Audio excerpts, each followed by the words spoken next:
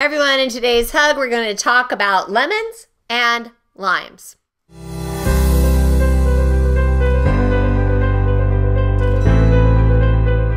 Many of you guys have heard that it's really good to have lemon water in the morning and it actually helps alkalize your body. I drink it every single morning. First thing, I drink an entire liter of water with a lemon cube in it because I squeeze all the juice and I put a lemon cube in my water. I also make lemon milk, which is delicious. You take about 24 ounces of water, an entire lemon, skin, rind, like the whole thing, quarter it, and add a tablespoon of extra virgin olive oil. Some sweetener of choice, I use monk fruit drops. And then as a bonus, you can always throw in a little bit of ginger, like a knob of ginger and you just let the blender pulverize that lemon. And it creates lemon milk, which is so good for your liver and your gallbladder. And one of my old clients actually swears that that is why she got rid of her ulcer. It is a really empowering drink, so good for you and delicious too, believe it or not. I know it sounds crazy, um, but when you make it, you can strain it if you want. But you know what? Why bother? Just keep that whole rind in there and let that goodness come into your body. And because we are reviewing life changing foods, I'm going to share with you what Anthony Williams says about lemon.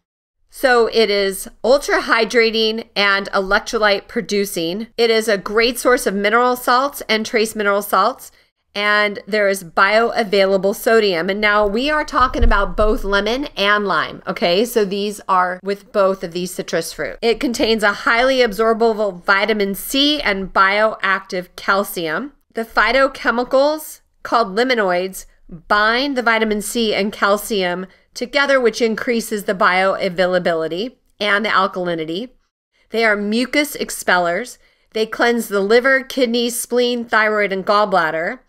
And for emotional support, they are a soothing fruit which helps when you are receiving disturbing news. So it kind of just soothes you and calms you. I love lemons and I use them, like I said, every day. My husband will bring home a bag of lemons from my mother in law's tree when my tree is empty and when my tree's full. You know, I just, I literally have them at least twice a day. And limes, well, there's margaritas. No, I'm just kidding. well, Kidding, not kidding. Um, but limes are really good as well. And when I'm low on lemon, I do lime for variety as well.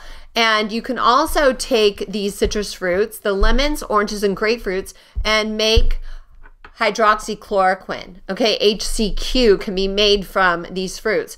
What I did a couple years ago, if you know what I mean, is I would take two lemons, two limes, and two grapefruits and put them in the crock pot with about two quarts of water and let them cook on high for four hours and then strain it and then sip about a half a cup a day.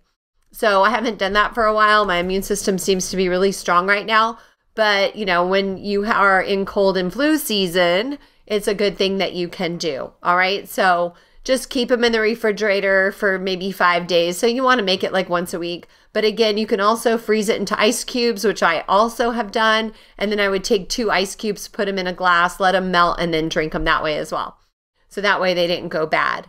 So I hope that helps you and you're not going to be a sourpuss having lemons. Oh, a funny story. When I was a little kid, my neighbor had a Meyer lemon tree, which is my favorite. That's what I have.